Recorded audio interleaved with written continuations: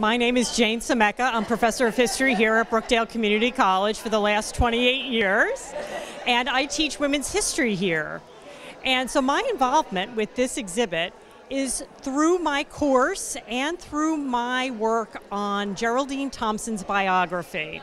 Geraldine Thompson does not have a biography of her. And that really came as a total shock to me when I was teaching my women's history class and I was teaching about Eleanor Roosevelt and realized that Eleanor Roosevelt had come to the farm to visit her friend Geraldine Thompson. So I shared it with my class, they were amazed. And then when I got to looking into it a little deeper, I realized all the things that she had done and she was being forgotten.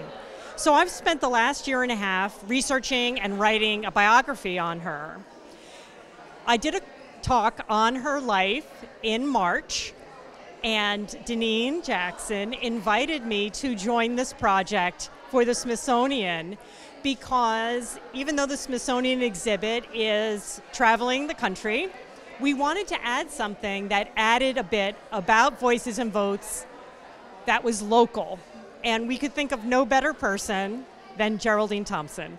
So, Brookdale Farm was actually started by a famous racehorse breeder named David D. Withers, who died in 1892. But he had spent, gosh, over 20 years developing a stud farm where you raise racehorses and he had all the buildings built he built he bought a tremendous amount of land all and put it all together to make an 800 acre farm after he died, William Payne Thompson bought from his estate the 800 acre farm because he was also interested in race horses and he was an executive at Standard Oil at the time, so he had a lot of money.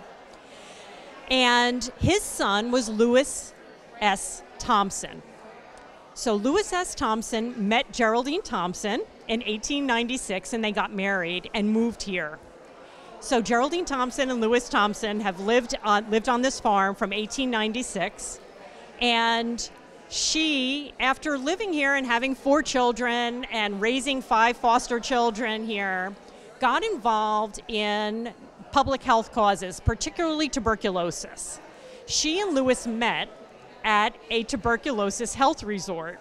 They both had tuberculosis as young people, and both were very sick, but recovered and so she moves to Monmouth County and realizes there are no hospitals, there are no services, there is no health system here.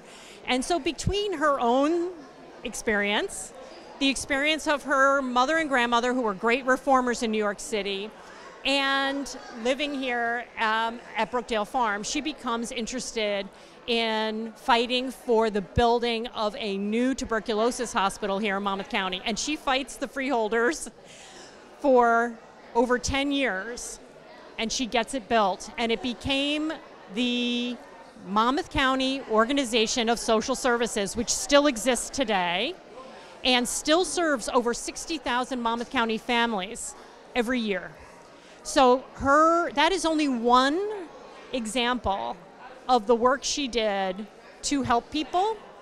To uh, she was a philanthropist. She gave lots of her own money to for different good causes. She worked for everything from the Red Cross and the Boy Scouts to the uh, State Department of institutions and agencies. So she really was involved on the state level in running and hiring people for all the state institutions the prisons, mental institutions, hospitals, all across the board. So she's uh, had a over 50 year career uh, in social work, and so her. Uh, but I'll add one last little sentence here, which is that in the census, when I read the census data on this family over every decade, her occupation was listed as none.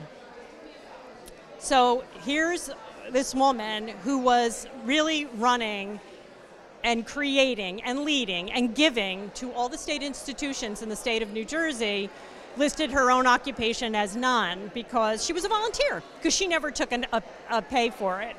But uh, no one is more instrumental in creating what we have today as public private partnerships in order to provide services that people need. you know, I want people to know who she is. I feel like she's been forgotten and that people know the park. Uh, her environmental record is also amazing.